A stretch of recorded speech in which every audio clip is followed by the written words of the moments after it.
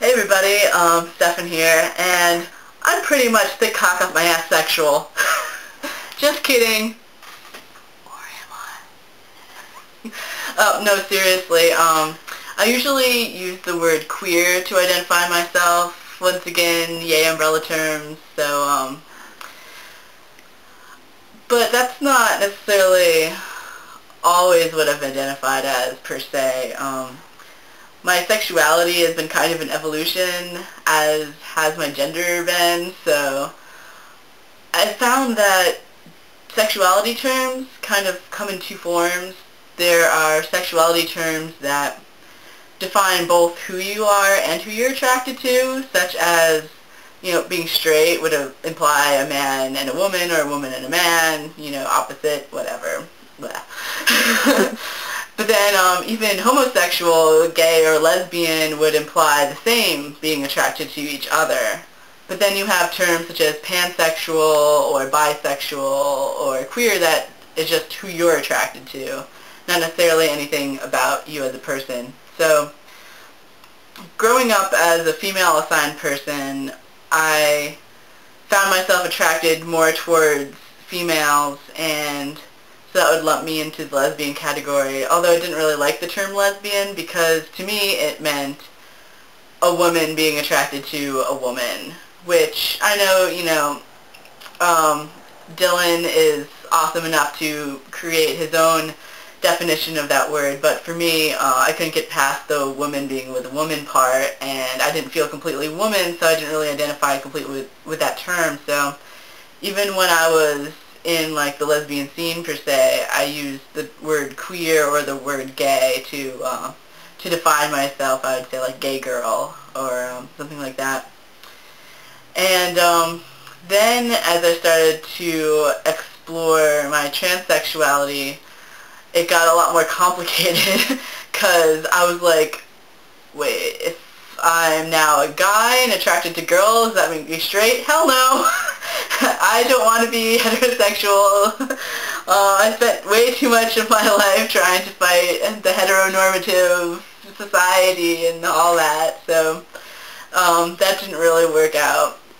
And even when I've been attracted to women, I've mostly been attracted to, like, people who are obviously gay in my eyes, which is basically, you know, more gender bendy uh, type women, even though the women that I've previously dated have been more femme, um, that just is because I generally date whoever's attracted to me, because um, I'm pretty shy and don't really like go after people or anything like that. So, um, but when I have my choices um, and I actually go with them, I'm more attracted to people who are more androgynous looking and stuff like that. Um, and it's interesting because I feel that my sexuality has changed prior to, um, like between when I was identifying as female and when I decided to transition to uh, being mostly male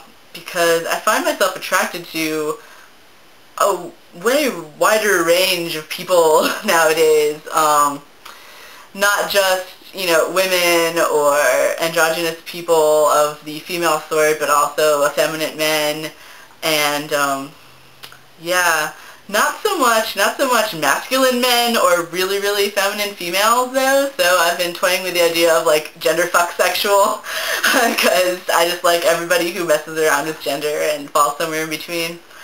Um, but I'm not really sure whether I've had those feelings previously and just didn't allow myself to express my potential feelings for um, like effeminate men and men in general because I was like, well, I'm a, you know, butch gay girl and we don't do boys or whatever, but it could just be because my eyes are opened to how fluid and awesome gender is now, and so I can just find myself attracted to people of all sorts. As much as that's really interesting, it's kind of not relevant at the moment because once you find a person, you don't really care who you're attracted to. You're just like, oh look, they're pretty, and your person's like, oh yeah, they are, and you go on. so um, that's uh, that's fun. Um, let's see. Um, speaking of which, it's really fun right now because I'm a gender, gender bendy person, dating a gender bendy person, and um, it's really funny because people want to gender us the same whenever we go out. So we're usually either lesbians or gay men wherever we go. Um, not many people actually see us as a heterosexual couple, which was one of my main fears when I decided to transition, which apparently is completely unfounded, hence the cat shirt. Anyways, um, yeah, like just today we went um, out to a place and um, they were giving out samples and they're like, oh, would you gentlemen like a sample? And we are like, sure. and then later on they're like, oh, did you ladies blah blah blah? And we're just like, okay. but um, yeah, it's it's really fun, and I mean, I get taken for a gay guy all the time and don't correct people, and I actually like it a lot, and am pretty flamboyant and own that. Um, some of my friends are like, well, you can't be a gay guy because you don't date boys, but it's like, well, the person I'm dating is gender fluid, and I'm gender fluid, and who says that we're not gay boys sometimes and we're not lesbians sometimes and I can't be a boyfriend and a girlfriend and a bendy friend and who knows what else.